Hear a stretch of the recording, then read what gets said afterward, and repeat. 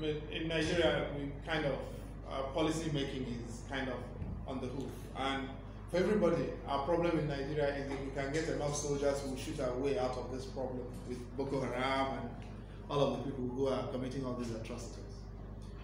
Um, but we can't. And when you look at the underlying data, okay, it's not the number of people killed, but look at the places where people are killed and the states which have the biggest problems of killings. Now, you will notice the two most popular states in Nigeria are Lagos and Kano. Yes? Lagos is the smallest state by territory in all of Nigeria. It's about 3,777 square kilometers, give or take. Kano State is the second smallest state in northern Nigeria, second only to Gombe State. Gombe is about 18,197 other about square kilometers. Kano is about just a little over 20,000 square kilometers. Yes?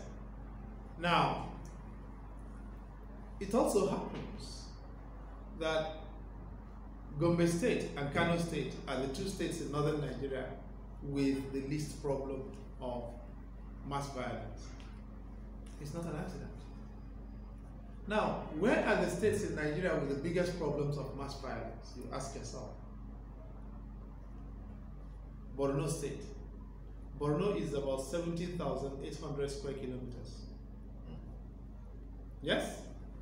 And it's also it's therefore the second largest state in Nigeria.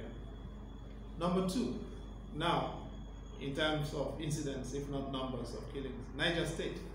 Niger State is about 76,300 square kilometers. It is the biggest state in Nigeria, bar none. Number three, Kaduna State. Kaduna State is the fourth largest state in Nigeria. The third is Taraba State. Kaduna is about 46,100 and a bit square kilometers, just about 46,100 under that square kilometers. The fourth, the third largest state in Nigeria is Taraba State. In terms of violence, it's about the fourth. And you can go on and on. Yobe State is number six, Zamfara State is number seven, Adamawa State is number eight in terms of landmass. Number five is Bauchi State. Now, what is common to all of these states? Vast tracts of land. Now, take Niger State, which is now increasingly a zone of killings. At 76,300 and a bit square kilometers and 25 local government areas, Niger is ungovernable. Now, try and understand this. Imo State, as I was trying to explain yesterday, is just about 5,000 square kilometers. Five, one, two, three, four, 5,000 square kilometers. And Imo State has 27 local government areas. Niger State has 25 local government areas and is 15, over 15 times the size of Imo State. Basically, the average size of a local government area in Niger State is close to the size of Imo State. Okay? Now, what does that mean? You have so much territory, you can't deploy protection assets effectively. So you have Lagos State is uh, Niger State is over 20 times the size of Lagos State. Lagos State has over five times the number of police assets than Niger State. So when you have a crisis, you can't deploy assets of protection effectively.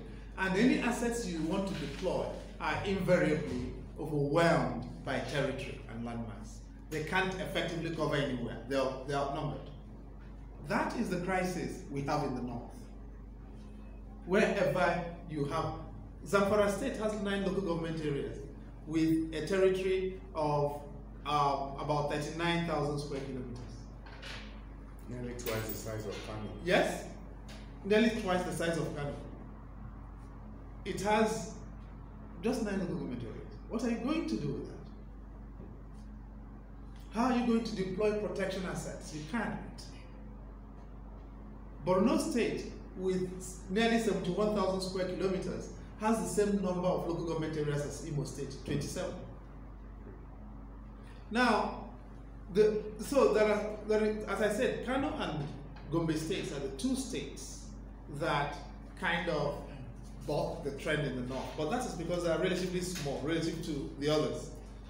Uh, and when you compare the size, Jere local government area in Bauchi state, which is also a site of some difficulty, is the site of the greatest difficulty in Bauchi, is about 6,800 square kilometers, which is about the size of Enugu state. Enugu state is the biggest state in the southeast of Nigeria. It's one local government area. Jere is the biggest local government area in Nigeria. Now, this is where the crisis is. It's not about guns and no guns and shoot and no shoot. We don't have enough assets to control the territory that we are dealing with, or the territories that we are dealing with. You're not going to have banditry in Lagos State. Now, if you look in the south, you will discover that the state with the greatest violence is River State. And River State is the one state that comes close to replicating not the size or scale of landmass problems in the north, but the scale of ungovernability of territory because of its ungoverned waterways, ungoverned creeks. And you find that again in Bayelsa State. That is the problem. So there is a, a commonality of patterns, patterns of ungoverned territories. That means, I mean, for me, it's very clear. If you can extend the reach of government and of the state, the further you can extend it, the more likely you are to be able to control this violence. But we cannot do that thinking the only way we can do it is by shooting. We've got to make government more effective.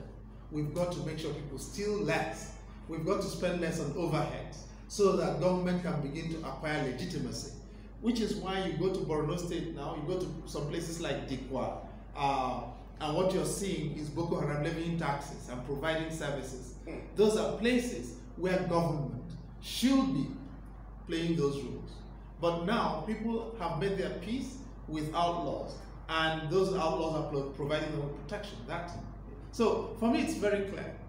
The insecurity issue is a canary of a deeper problem, which is malgovernance.